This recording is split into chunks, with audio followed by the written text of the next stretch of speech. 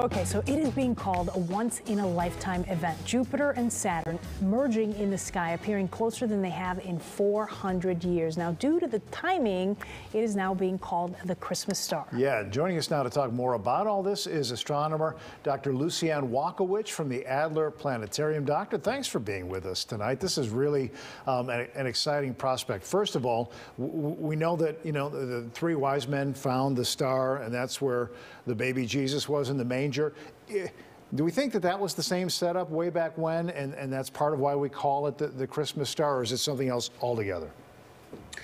Well, you know, it's really hard to interpret what people would have thought back then. Um, certainly, throughout human history, celestial events such as this one, especially one that's so observable with the naked mm-hmm. eye, not needing any special equipment, so before telescopes even, um, it was interpreted to mean anything from, you know, like a wonderful, momentous event to being something that was, you know, not auspicious, um, maybe something to worry about the gods conspiring in the sky.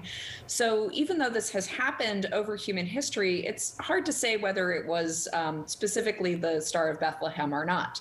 But what is sure is that uh, towards the so- southwestern horizon, we have um, a beautiful view, if you can spot it uh, outside of the clouds, of Jupiter and Saturn, um, not entirely merged, but uh, very close together. All right, so explain a little bit in more detail what folks can expect to see, meaning in which direction they should be looking at, what the timing, uh, anything like that, any details that you can give us about what to look for. Yeah, um, the most wonderful thing about this, I think, is that you can see it just with the naked eye. Um, the point of uh, conjunction was tonight, so um, you would go out a little bit after sunset and be able to see Jupiter and Saturn, which look like these two bright, sparkling stars. Um, they're planets, but they look like bright stars in the night sky, just above the horizon.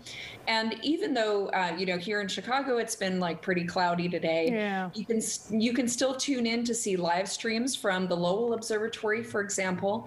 Um, and even though the closest approach is tonight, we'll still be able to see these two giant planets sparkling in the night sky over the course of the week as they gradually get further apart. So it's really a wonderful moment for us all to share, looking up at the night sky and watching these two planets move relative to each other. All right, so doctor, we cannot really see this tonight then because of the cloud cover, but on my Instagram feed, I'm seeing people that are, you know, pointing their cameras up and you know, they circle it so you can see what it is they're focused on. They're, they're outside of the Chicago metro area. Is there some place you would recommend that folks could go maybe tomorrow night to get a, a better view of this?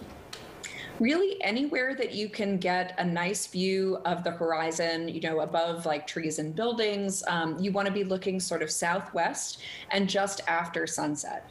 So anywhere that you can see the horizon or pretty close to it and that you can get to just after the sun goes down, you should have a pretty good view. And even though they won't be as close together as they will be tonight, um, you'll still be able to see them just beautifully. All right. I love it. Very cool. Thank you so much for your insight, Dr. Lucianne Walkowicz with the Adler Planetarium. We appreciate your time.